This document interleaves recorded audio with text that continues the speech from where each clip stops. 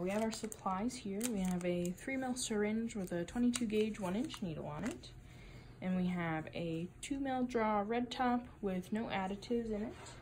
Uh, we have some alcohol to prep our uh, venipuncture site and some cotton balls.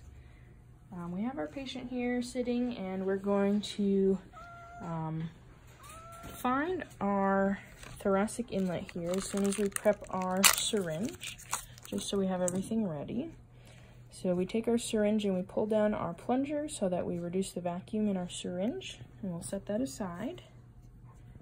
And then we're going to apply some alcohol to one of our cotton balls and set that aside. Now we're going to palpate our jugular vein. So we're going to find our thoracic inlet, which is right here, and hold off and palpate our jugular. Good boy. Which is right here. We're going to apply our alcohol cotton ball to the jugular. Good boy. And palpate that again. Good boy.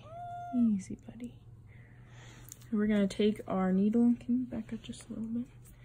Um, and we're going to be inserting our needle bevel up into the vein and drawing our sample. Easy, buddy.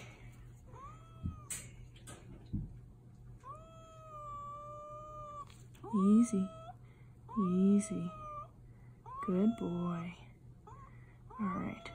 So then we're going to easy take our needle out and hold off on our venipuncture site. And I'll have my assistant hold off for me.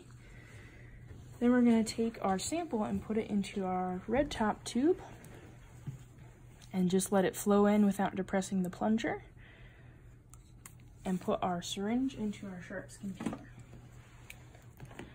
Now we're going to put our patient information on here.